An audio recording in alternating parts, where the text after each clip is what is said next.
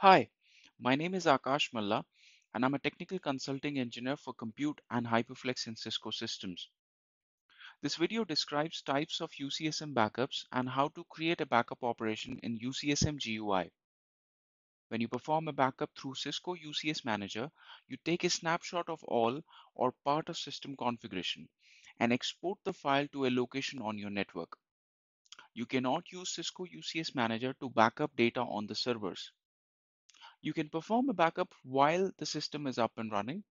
The backup operation only saves information from the management plane. It does not have any impact on the server or network traffic.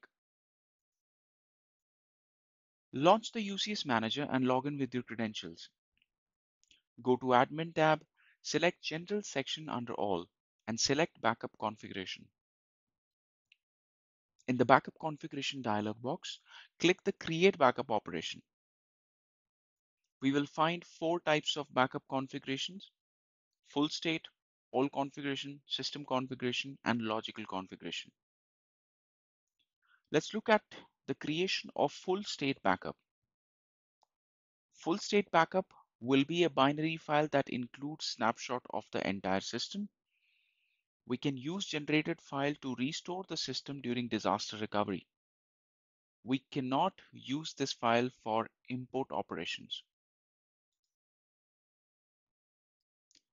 In the Create Operation dialog box, we need to complete the following field. In the admin state field, we can either select enable or disable.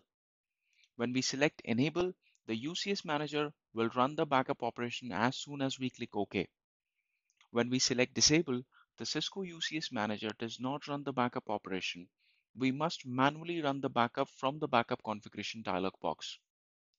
We will select full state backup type location of the backup file, which can be remote file system or local file system.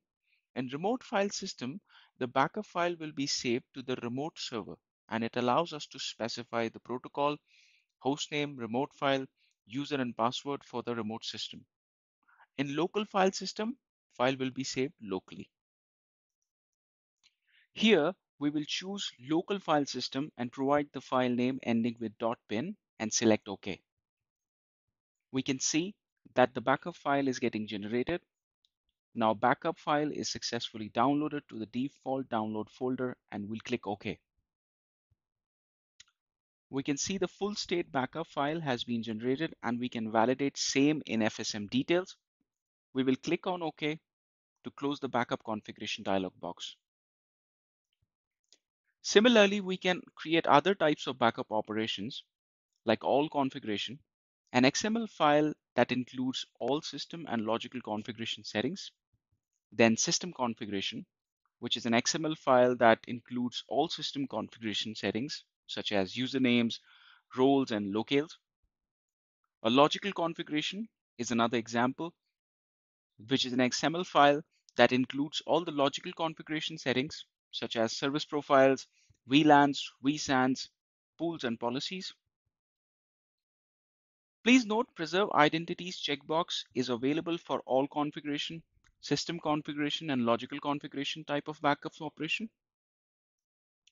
If this checkbox is not selected, the identities will be reassigned and user labels will be lost after a restore. Hope you have enjoyed the video. Thank you for watching.